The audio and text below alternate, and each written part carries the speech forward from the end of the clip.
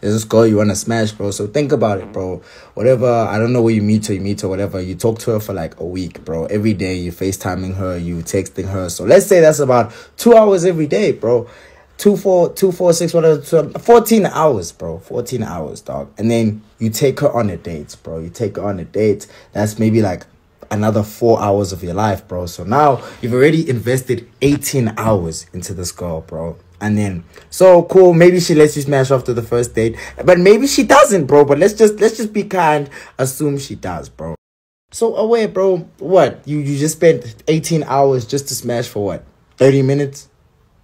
Maybe an hour? Maybe, maybe, maybe even 10 minutes. You know what I mean?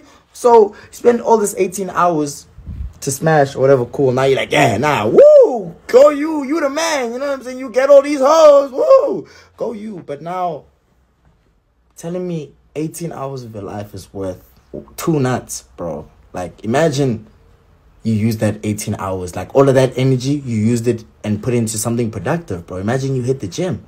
Imagine you did your schoolwork, bro. Imagine you focused on your side hustle, your passion, your job, bro. Imagine how much further you would be, bro. Because Trust me, gents, and I know this, bro. Chasing women leads you nowhere, bro. One day you're just gonna chase and chase and chase and oh my god, you get all these hoes, woo.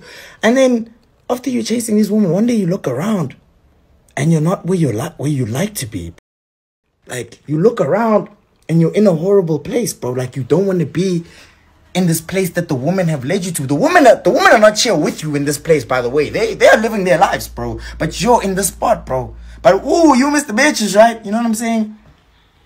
All I'm gonna say, Oaks, is you get one life, bro. How you choose, how you choose to live it is up to you, dog.